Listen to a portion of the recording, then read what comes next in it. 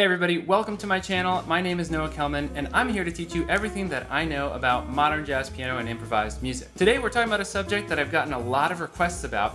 How do we actually transcribe voicings, right? Lines is one thing, we can slow them down in a recording and just kind of pick it out note by note, but a voicing can be really tough because we've got these different shapes and clusters of notes. What are some strategies we can actually use for picking out a voicing out of a recording? Well, today we're going to talk about just that. But really quick, if you're new to my channel, please consider clicking the subscribe button and clicking the little bell to turn on notifications so you don't miss any more videos just like this one. And also, I would really appreciate you hitting the like button as that really, really helps me out. All right, without any further ado, let's jump right in. So I've been getting this question a lot. How can we actually transcribe voicings? And it took me a second to kind of come up with an answer. I, in fact, I almost was worried. I was like, hmm, maybe you just got to get better at knowing and practicing your voicing so that you can recognize the shapes and that's it, right? And I was like, that's not very helpful to people. I need to come up with something better here. So I've been really, really thinking about it, and I think I actually did come up with some methodology here that is going to be really helpful to you all for transcribing voicings. So the way I would think of jazz voicings in general is that really at the end of the day, there are some very typical shapes, especially when you look hand by hand. Our hands really are kind of made a certain way. The combination of our hand shape with also the different sounds of registers of the piano mean that we're actually going to probably encounter voicing shapes fairly frequently. Now the thing is, our hands have a certain shape and the keyboard has a certain sound. The piano has a certain sound, right, in different registers. As we get higher, it's easier to play clusters of notes and have it sound really nice, right? Um, if we do that lower, it doesn't sound as good, right? I don't want to say it sounds bad because that's subjective, but you know, I don't think it sounds as good. So we get more open shapes in the bottom. Because of that, we can actually kind of examine what the common shapes are and start to work on just hearing those. So if we're transcribing a voicing, we could actually start by trying to just figure out what is the shape in the left hand. So that's a really, really good method. So number one, when we're listening to a voicing, the first step I would recommend is, of course, what is the root of the chord? And then I would recommend figuring out what the top note is too, because I think that can be helpful. But from there, um, I want you to think, what are the different shapes that we can find in the left hand? So first of all, common one that may be great would be a fifth, right? Are the bottom two notes of the chord a fifth? If not, are they a major seventh? If not, is it maybe even a tenth?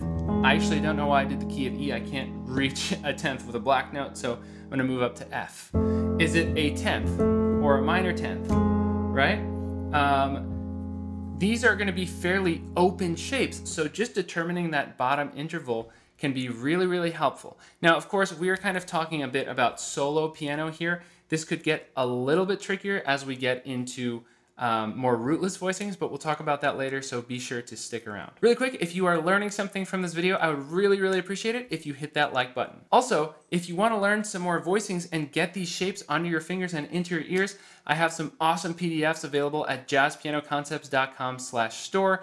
There are tons of voicings in there that specifically you can practice to get different shapes under your fingers. So we have some kind of common shapes here. I mean, you might see a fourth, but I think more likely it's gonna be a fifth, a seventh, maybe an octave with a fifth or a tenth of some kind. That's really kind of it, right? So here's a voicing, here's a voicing. You know what, I forgot one, a ninth maybe a 1, 5, 9. So our shapes, just to go over them again, we might have 1, 5, 1, 7, 1, 9, 1, 10. Of course, we could have 1 flat 3 as well, 1 flat 7 as well. But these are kind of the shapes we're going to find. So especially in typical solo piano jazz voicings, right?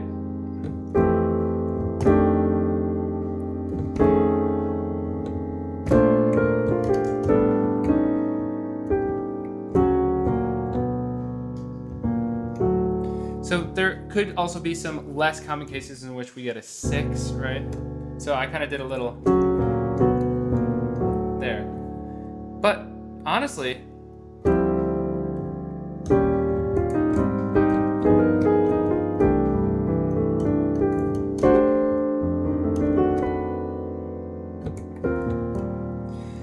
These shapes are really going to help us get very, very far. So when you're listening to a voicing, see if you can determine that shape.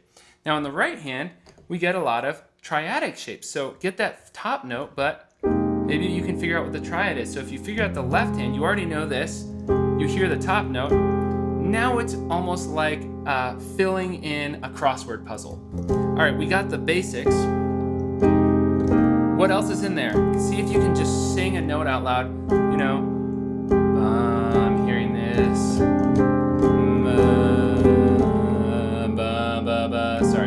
Sing, make sure you sing that right now and don't change. All right, cool. So we kind of found the note. Is there anything else?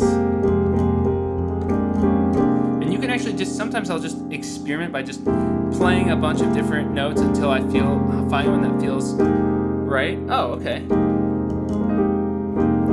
That feels right. That feels like the sound of what the player is playing then I'll play it with the recording. And if it feels like it matches up, it feels like nothing's clashing, I'm probably at the very least pretty close. So that's kind of the methodology that I personally would recommend using for transcribing and voicing. Now, over time, voicings are just like memorizing flashcards. The more times you hear a specific shape or even practice it on the piano, you are just going to get quicker and it's going to become more natural for you to actually recognize that shape. Now, what if we were talking rootless voicings? Well, there are also some, some fairly common shapes with rootless voicings. You might have a fourth. You might actually have a series of fourths, right? These are very common. These are kind of like so what voicings, right? So if you can get that left hand, do you have a fourth, right? Um, do you have a, uh, this is a very, very common shape. Do you have a tritone on bottom? Is it possible that above that tritone you have either a major third there or a fourth between these notes, right? Because there's a really good chance you will in the left hand, even on a rootless chord. Maybe there's a little crunch. Well, there's a pretty decent chance that that crunch is going to come right there. And again, I'm talking for the left hand, right? We're getting this kind of little crunchy altered sound. So basically what I'm doing is I'm piecing together intervals, making sure that things don't clash as I play the voicing with the recording, and then I'm gonna search to fill in the crossword puzzle pieces, right? And if something's not working, it's not working. Find something else, right? So this is the methodology that I would recommend. I would actually love to hear if you all have different methodology for transcribing voicings. This is, this is more or less what I actually have always done to transcribe a voicing. And over time, it's just gotten so much easier because I recognize the shapes so much more quickly. I've practiced them. But if you all have different methodology for actually transcribing voicings, I'm really, really curious to hear what it is. Let's share the knowledge in the comments. Um, please let me know in the comments. I, I want to know what other ideas you have for how we could actually better listen to a recording and hear what the voicings are being played. All right, everybody, thank you so much again for watching. Again, if you're new to the channel, please be sure to click the subscribe button and hit the bell to turn on notifications so you don't miss any more videos just like this one. Thank you so much, and I will see you next time.